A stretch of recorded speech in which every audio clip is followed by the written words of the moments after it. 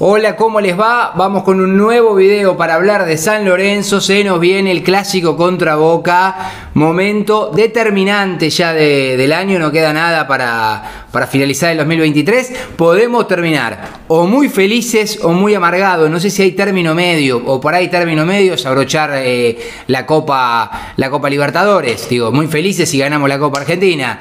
Eh, amargados si te quedas afuera de, de todo o si te quedas con Sudamericana después de haber estado todo el año en, Libertadores. Bueno, Sudamericana es muy difícil que nos vayamos a caer de, ahí por los resultados que llegó el fin de semana. Ahora les voy a estar contando.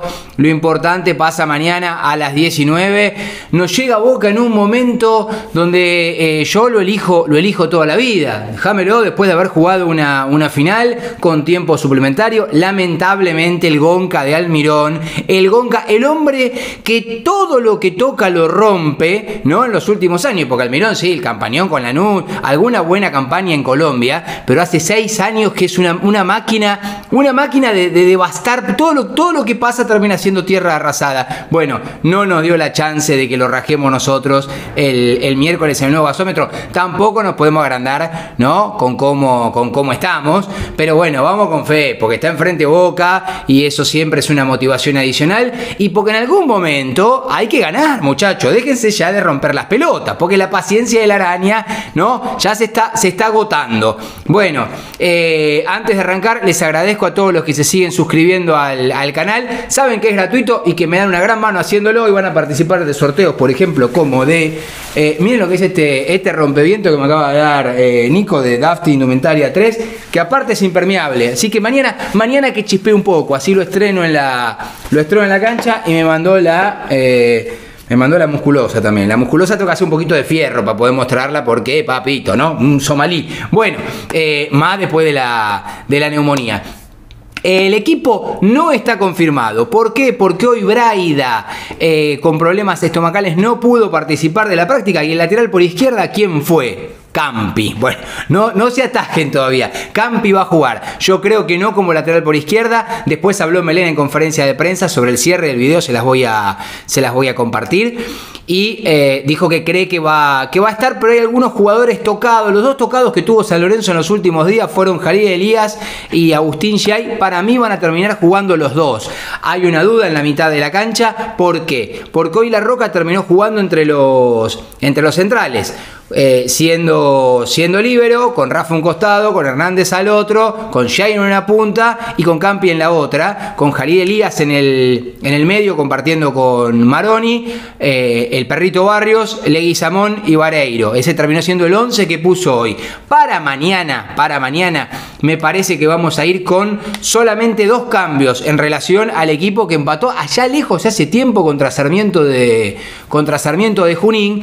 Es decir, eh, vamos a jugar con, y los confundo dando un equipo y dando el otro. No les conté el que paró, el que paró hoy en la práctica.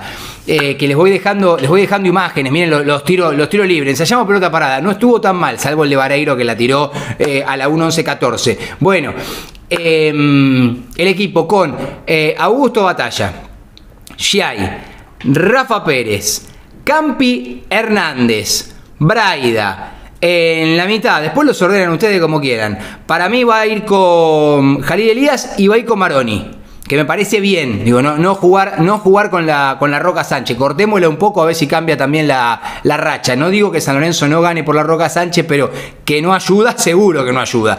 Em, y adelante estarán eh, el Perrito Barrios, Leguizamón que se mete por, por Girotti, el otro cambio sería por supuesto la salida de la Roca para que ingrese Maroni, y Vareiro, Vareiro como centro delantero. Sabemos que tanto Leguizamón como Vareiro fueron convocados por Garnero para la selección de Paraguay y si nos pone Copa Argentina en fecha FIFA, nos van a recontra cagar y no le van a quedar delantero para poner. Va a tener como delantero para poner a, a Hausch, va a tener como delantero a Blandi, va a tener a, a y para de, y para de contar, porque digo, a un tipo como Augi no lo puede contar más. ¿Vieron lo que hizo, ¿vieron lo que hizo en las últimas horas?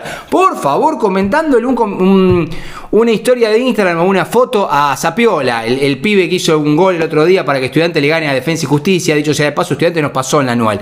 Acá les dejo la, anual para que vayan para que vayan viendo, pero si ganamos mañana siempre es pero si ganamos y nunca ganamos. Bueno, pero si ganamos de una putísima vez, eh, nos metemos de vuelta en zona de en zona de Libertadores, porque pasaríamos a defensa y pasaríamos a Rosario Central y alguno más que está también por ahí. Bueno, eh, miren el comentario, el comentario de Auski diciendo que quiere, que quiere volver estudiante, que nos vemos, nos vemos pronto y le pone el emoji del león. Auski, la puta madre, vos no eras hincha de San Lorenzo, de pendejo. ¿Qué, ¿Qué hacen? Yo entiendo que muchos jugadores tienen caca en la cabeza. Bueno, esto es un ejemplo más de que Auski tiene caca en la cabeza. Eh, ahora tapame la boca, hace, hace un gol si te toca entrar un minuto, que creo que es lo que puedes llegar a jugar de acá que te vaya. Hace un gol que sirva para avanzar en Copa Argentina, algo, hermano, por Dios. El único jugador, el único jugador por el que pusieron plata en el mercado de pases, 130 mil dólares. No me canso de decirlo para que se den una idea del nivel de vaciamiento que, eh, al, que fuimos sometidos. No, no le hacen un estudio ambiental a los jugadores. En serio les digo, ¿eh? eh la, gente que dice, bueno, vamos a buscarlo a Auski porque queda, porque es fácil de sacarlo porque le quedan seis meses de contrato y quiere volver de Hungría. No preguntan a exjugadores no lo rastrean en redes sociales para ver si no tiene los patitos en fila, porque un tipo que hace este comentario eh, en referencia a que se quiere ir otro club, cuando llegó hace tres meses no tiene los patitos en fila, Auki. Evidentemente no los tiene. Bueno, eh, listo. A todo esto, a todo esto, tenemos cómo va a formar Boca, o por lo menos lo que paró hoy Ron, con dos cambios también, pero en relación a los que perdieron la final con Fluminense, por suerte jugando el, el alargue también.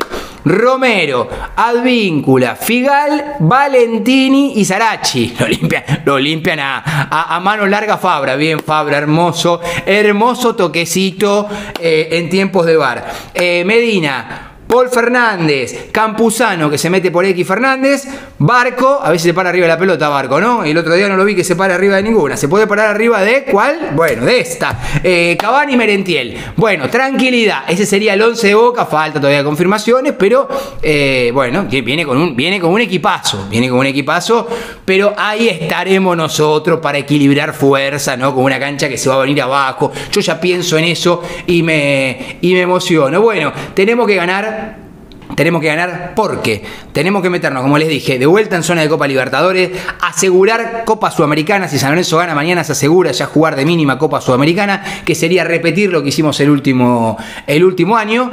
Y eh, tenemos que ganar porque tenemos que salir, estamos últimos. Estamos últimos. Contando las dos tablas, el último San Lorenzo. Bueno, dejémonos de romper las pelotas ganemos. Algunos me decís, con el empate salís del último puesto. Bueno, pero yo no quiero empatar más, muchachos. No quiero empatar más porque empatar ya a esta altura es, es perder, siempre. Así que, bueno, esperemos, esperemos que cambie, que cambie esa racha. Estoy viendo a ver si tengo algo, algo más. Bueno, la tabla de la copa se, las pongo ahora acá, dos segundos también para que vean. Fue una fecha positiva porque digo, perdió. Miren los que están atrás nuestro, que nos podían haber pasado. Perdió Belgrano, perdió Argentino, perdió Tético Tucumán, que no nos podía pasar, pero se te ponía, se te ponía tiro. No ganó Racing, no ganó Lanús, digo, dale, muchachos, aprovechemos, no ganó, no ganó Central. El único que sigue firme ahí, que me parece que es inalcanzable, es Godoy Cruz de, Mendoza, que le ganó Platense. Pero después, la verdad que eh, estamos, muchachos, seamos. Seamos buenos. Bueno, eh, los voy a dejar ahora con la palabra de Melena Insúa. Gentileza de los muchachos de San Lorenzo primero que me hicieron llegar la, la conferencia que va auspiciada por Fiambrería La Chacra. ¿eh? Eh, los, mejores, los mejores fiambres ya saben que están ahí y que hay descuento para hinchas de, de San Lorenzo. Para hinchas no, para socios, porque es fácil, soy hincha, soy hincha y en realidad soy bostero. No, no, para socios de San Lorenzo. El que puede sabe que tiene que dar una mano al club y hacerse socio. Eso está recontra descontado. Hoy a la noche nos vemos en línea de tres por el canal de Mariano. Y mañana y mañana al mediodía puede haber alguna sorpresa. Por ahí mañana al mediodía estoy medio loco y, ansioso por el partido y a la una nos conectamos y hacemos un, vivo un vivo fugaz, rapidito, como para, para calentar motores con lo que va a pasar eh, seis horas más tarde. Estén, atentos, quedan eh, debidamente notificados. Bueno, y, hablando de quedarse, acá quedan con, con y Suba. Nos vemos. Buen día, antes que nada. Eh, bueno, un partido muy importante en la previa eh, de lo que significa para San Lorenzo el clásico con Boca. Eh, y vimos en la práctica que, bueno, obviamente no está mal con Braida. Primero consultarte cómo está, qué es lo que le sucedió. y si lo contás para mañana y si este va a ser el equipo o si lo podés confirmar. No, buenos días. Eh, bueno, el caso Bray anda con un malestar estomacal. Vamos a escucharlo. eh, mañana, por lo que me dijo el médico, ya va a estar bien. Y hay dos jugadores más que andaban con una, una molestia. Creemos que nada demasiado importante, así que esperaremos hasta mañana al mediodía para ver si están en plenitud. En el caso Breida, creemos que sí. Se lo pudo ver a batalla con hielo post entrenamiento. ¿Es uno de los jugadores que está tocado? No, no, pero es más que nada por prevención. Había tenido un golpe, pero nada importante, por suerte. Rubén, y en caso de que llegue Braida, ¿tenés definido si sale Campi y juega Sánchez o eso puede cambiar? Eh, no, no. eh, primero vamos a esperar. Eh, hoy no pudo trabajar porque estaba ahí con, eh, con un malestar, digamos. Pero creemos que va a estar bien y después veremos. ¿Es una final mañana para San Lorenzo? Digo, si ganas se vuelve a meter en puesto de Libertadores, encarás los dos partidos que quedan de otra manera. Sí, un partido muy importante, es un clásico con Boca, ¿no? Que eh, para la gente de San Lorenzo siempre tiene un valor agregado. Y sí, son partidos muy importantes, acá al final todos los partidos tienen eh, trascendencia, digamos. ¿Te molesta verte donde te ves en la tabla hoy? San Lorenzo quedó último, con Boca y Lanús. Bueno, eso depende de qué tabla uno mire, ¿no? No, obvio, estamos hablando de la Copa de la Liga. La otra puede llegar a. Libertadores. Sí, sí, obviamente, uno tiene, en el caso puntual nuestro, eh, miramos la, la tabla de la Copa de la Liga, la tabla de la Copa Libertadores, la tabla de la Copa Sudamericana y la tabla también de, la Copa Argentina para ver cuándo nos toca jugar. Eh, creo que le viene sucediendo a la mayoría de los equipos, hay muchos equipos que, o casi todos te diría que pelean por algo, por entrar a una Copa Libertadores, otros por mantener la categoría, otros por eh, entrar a la Copa Sudamericana, otros para terminar entre los primeros cuatro, así que es algo, creo yo, habitual para todos los equipos. ¿no? Rubén, eh, ¿cómo tomaste los elogios de Riquelme? ¿Te sorprendieron? No, ¿Son bueno. un lindo mimo? Sí, bueno, me enteré anoche que él es uno de los mejores jugadores eh, de la historia del fútbol argentino. Eh, un hombre que eh, tiene muy claro eh, el fútbol, ¿no? Tiene una visión muy, muy buena de- del fútbol como juego, así que ¿Acertó? ¿Te bien. sentís uno de los mejores técnicos del fútbol argentino? No, eh, que de- lo diga en este caso Román eh, es bueno para uno, obviamente. Uno yo lo tomo con humildad y agradezco esas palabras. ¿Cómo, cómo imaginas el partido con Boca respecto de todo lo que vino sucediendo? Bueno, Boca viene de jugar una final, de, de perderla, desde el punto de vista anímico, lo que significa también para poner a punto tu equipo. Bueno, va a ser un partido duro, difícil. Boca tiene un buen plantel. Estuvo entre los, los mejores equipos de- del continente. Así que vamos, vamos a tener enfrente un muy buen rival. Nosotros creo que tenemos bastante claro qué tipo de partido tenemos que jugar. Eh, entrenamos muy bien estos nueve días que tuvimos para preparar el partido. Sabemos que si queremos ganar vamos a tener que correr mucho eh, y tener eficacia. Bueno, sabemos qué tipo de rival tenemos enfrente, llegamos muy bien y nosotros eh, esperamos sumar de a tres. Vuelvo a la valoración que hizo Riquelme. ¿Cómo lo considerás teniendo en cuenta que en un momento de análisis y quizás muy difícil para Boca después de desenmarañar lo que fue el análisis de una final perdida, que haya reparado fundamentalmente en tu persona, hablando lo que dijo de, de tu característica como técnico y también de San Lorenzo, de la gente, ¿no? Sí, bueno, lo que dije anteriormente, primero con humildad agradecerle la palabra que tuvo para conmigo y mm, después eh, coincido en lo que dijo, San Lorenzo como club y su público, eh, viniendo a quien viene para tenerlo muy en cuenta ese aspecto puntual. Sí, seguramente mañana el estadio va a estar eh, repleto público, eh, nosotros necesitamos que la gente no- no- nos ayude a, tener una energía adicional para buscar ganar. Y vuel- vuelvo a reiterar, sabemos qué tipo de, rival vamos a tener enfrente. Boca hace tres días fue la final de la Libertadores, creo que en el mes de marzo, ahí, o abril, eh, ganó un título, una final que le ganó a Patronato, creo que era la Supercopa Argentina, si no me equivoco. Tiene buenos jugadores, nosotros también, unos buenos jugadores, estamos muy bien entrenados. Eh, tenemos que cerrar eh, muy bien el año. Tenemos ilusión, ganas, energía, alegría. Eh, esperemos mañana hacer un buen partido. Estoy seguro, sí, estoy seguro que el equipo va a estar a la altura de las circunstancias. Eso estoy seguro. Ru- Los Rubén, resultados no, nunca lo. Rubén ha variado mucho eh, a lo largo del año, sobre todo en la mitad de la cancha. El, el 3-4-3 es el, por allí el dibujo que más te satisface por las características de los jugadores que tenés. Bueno, digamos que eh, la distribución en la cancha siempre responde más a las características individuales eh, que a otra cosa. No hemos variado tanto tampoco, ¿no? Eh, ejemplo, Elías, como siempre. Eh, A veces, de- dependiendo de, de nuestras propias necesidades, que es lo que siempre priorizo, más que las características del rival, al cual también le prestamos atención, eh, a veces jugamos con un volante que nos dé marca y juego y a veces con un volante creativo que es lo que a mí más me gusta. Eso depende de, otros factores, de, de cómo, eh, cómo y en qué lugar recuperar la pelota, estar 10 puntos físicamente, que es lo que te exige eh, el torneo argentino y cuando vos competís a nivel internacional. Pero más, más que nada la distribución en la cancha responde a las características de los jugadores. Rubén, que Boca sea el tercer partido consecutivo que llega a este estadio o con un técnico interino o con un técnico debutante. Eh, ¿Es bueno? ¿Es mala esa casualidad? ¿Te hace perder un poco de, de lo que puede llegar a parar o sorprenderte?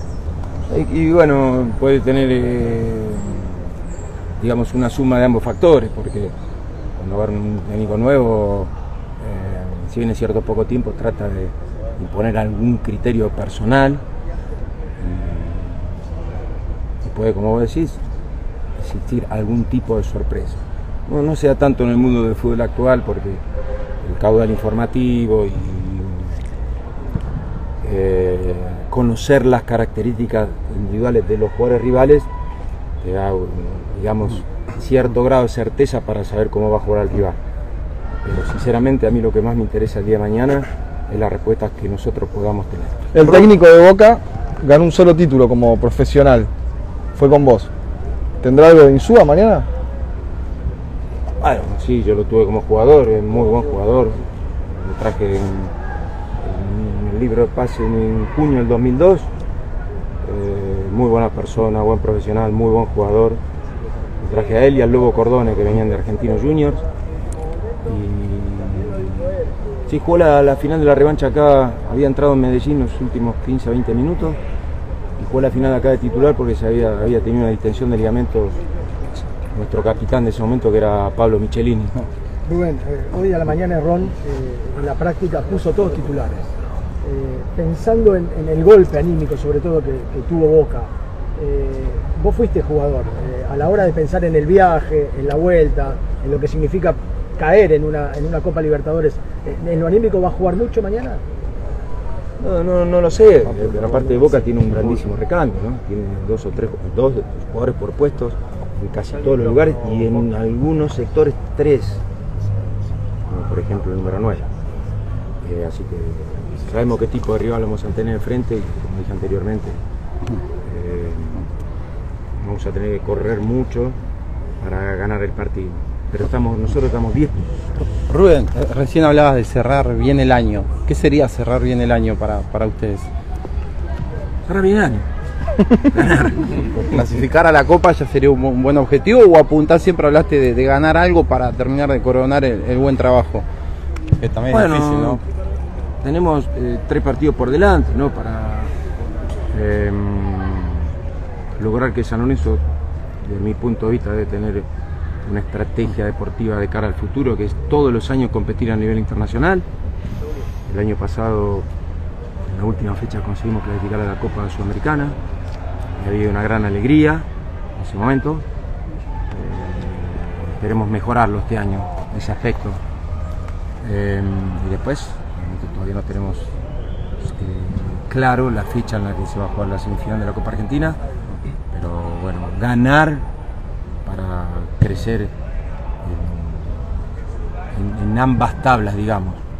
Y Todo lo que hay que terminar ganando eso. Y tomando en- Para, para terminar de redondear la respuesta, hay que ganar. Por eso, y tomando en cuenta esto, ¿dónde te ves más cerca para clasificar a la Libertadores? ¿Por la Copa Argentina o por la tabla anual? Bueno, eso nunca se sabe, ¿no?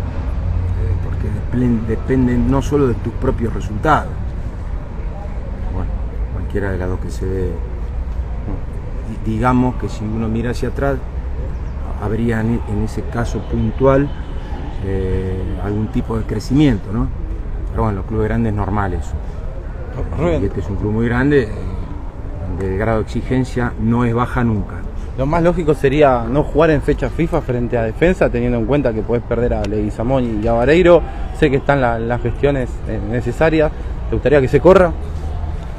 Bueno, eso depende de, de- de quienes organizan el torneo, ¿no? depende tanto del gusto de uno. Hubo equipos que tuvieron que jugar en fecha FIFA, le faltaron varios jugadores. Y uno, si podría elegir uno en la fecha sería el ideal, pero no, no- no depende de nosotros, así que todavía no tenemos certeza de cuándo vamos a jugar. ¿Te pone contento que Leguizamón sea convocado por primera vez a la selección de Paraguay? Es un jugador que potenciaste vos casi. Sí, me pone contento porque es un muy buen jugador, muy buena persona. Eh, salió de acá de, inferior del club y me pone muy contento por él. Lo merece, él y Vareiro, los dos. Sí, sí, nos pone contento. Rubén, ¿debería tener más puntos San Lorenzo? Hemos eh, perdido poco y hemos ganado poco. Está la explicación. Eh, tenemos que eh, mejorar de acá al final el grado de eficacia. Por supuesto que no es fácil.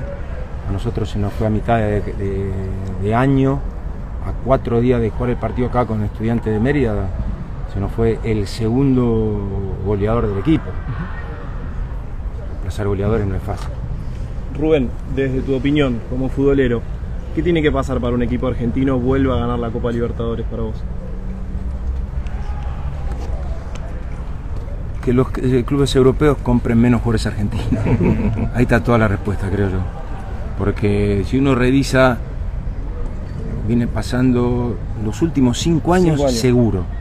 Seguro. Antes quizás también, pero eh, por ejemplo River cuando ganó en el 2018 y Boca, que fueron los dos que jugaron las finales, mantuvieron sus mismos planteles, los dos. Y eso los últimos cinco años no ha pasado. Todos los equipos argentinos que llegaron a semifinales o a finales perdieron en el camino jugadores muy importantes que se fueron a clubes europeos. Todos sin excepción. Y lo mismo a los equipos que jugaron eh, Copa Sudamericana. Nosotros en 15 días se nos fue Gatoni a Europa, Martegani a Europa eh, y Bombergar a Arabia. Nosotros estamos jugando Copa Sudamericana. Y al resto de los equipos también, si ustedes revisan, en todos los años ha pasado exactamente lo mismo. Eh, jugadores que se destacan, grandes clubes europeos vienen y los compran y llegan con menos potencial con el- los cuales arrancaron. Cosa que no sucede en, el- en los equipos brasileños. Y te diría en contrapartida de eso, ellos contratan jugadores que vienen de Europa. Y mantienen. Nosotros antes de jugar eh, con San Pablo, por ejemplo, yo habían contratado a James Rodríguez y a Lucas Lucas Moura. Por ejemplo. Rubén, ¿tu contrato? Bien, por. ¿El que viene? No, eso no. Nosotros hoy estamos pensando en el partido de mañana. Pero la gente también quiere estar tranquila de que vas a estar. La gente está tranquila, va a venir muy contenta seguro mañana a apoyar al equipo. Lo vamos a necesitar. Eh, la química entre el equipo y la gente hizo que San Lorenzo tenga una localidad buena. Y por ahora eso es lo más importante. Da la sensación que para vos no es un, un problema, digo, el contrato, que solo resta que te llamen y, y- y ya está, lo solucionás enseguida. Digo, siendo San Lorenzo. Como le pasa a todos los entrenadores a fin de año. No, pero también me imagino que quieres ver el proyecto, ¿no? Que, que hay. Va a haber un presidente nuevo, ¿no, Rubén? ¿Debe haber una charla o no? no? opinar de, de- de un tema que exceda al marco deportivo, que es sinceramente lo, lo único que a mí me compete. ¿no? hablar de otra cosa no, no tengo el grado de conocimiento para hacerlo. Pensando en la lista de concentrados de mañana, ¿se va a mantener la misma que contra Sarmiento o pueden volver Ramírez y Austin? Eh, bueno, no me lo acuerdo de toda la lista. Si, si ustedes tienen tiempo y, y me tienen paciencia, tenemos 24 jugadores concentrados. Una Ellos sola. son Batalla, Altamirano, Pérez, Sánchez, Campi, Hernández, Formiliano, Luján, Giay, Girala, Elías, Perrusi, Braida, Silva, Barrios, Maroni, Medina, Vareiro, Girotti, Blandi, Leguizamón y House, esos 24. ¿Cómo estás viendo a House? De a poquito le vas dando más minutos. Bueno, sí, por suerte Agustín eh, está, está muy bien, en la parte física, en la parte mental, es un jugador muy interesante, un excelente futuro. Eh, lamentablemente nosotros en este periodo, desde, el do- 19 de mayo del año pasado a la fecha, es la cuarta vez que lo subimos a entrenar con primera. Y lamentablemente las, tres primeras veces, al poco tiempo de estar acá, se lesionaba, eh, bueno, estaba en un periodo de recuperación, lo volvemos a, a bajar a reserva para que tome fútbol. Subía a primera y otra vez le pasó lo mismo. Y hoy está física y mentalmente muy fuerte y creo que va a ser eh, muy interesante para los